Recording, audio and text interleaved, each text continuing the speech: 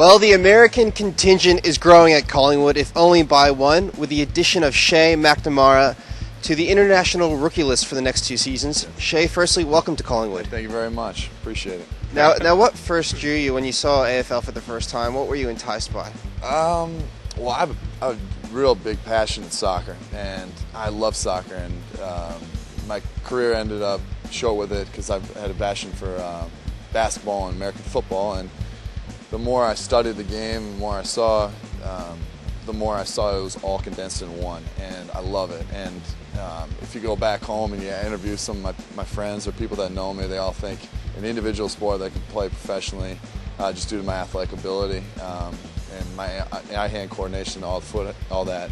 And um, yeah, so it, this kind of condensed in one, and then you know it intrigued me being the first American, and uh, hopefully I can bring back this great game over uh, to America and bring some more uh, some more cats like me. So we'll see what happens.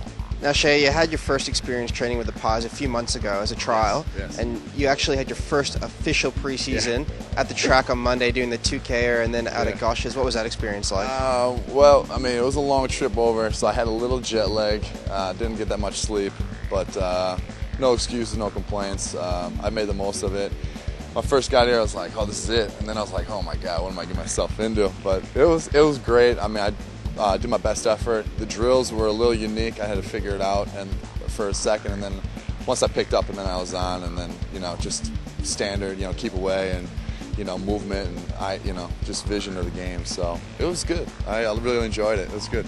And now, just looking at your uh, your height, it's fair to say the club's maybe molding you into a, a, future ruckman. Yeah, maybe. Who knows? Maybe even a forward. I don't even know. But uh, main thing is to play in the AFL and uh, do the best I can and help the team win a championship.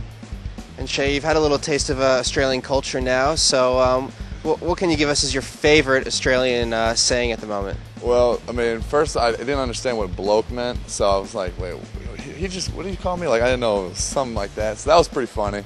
But when I was hanging out with the young kids, um, I was like, yo, I had always carried a bag because I didn't have a locker.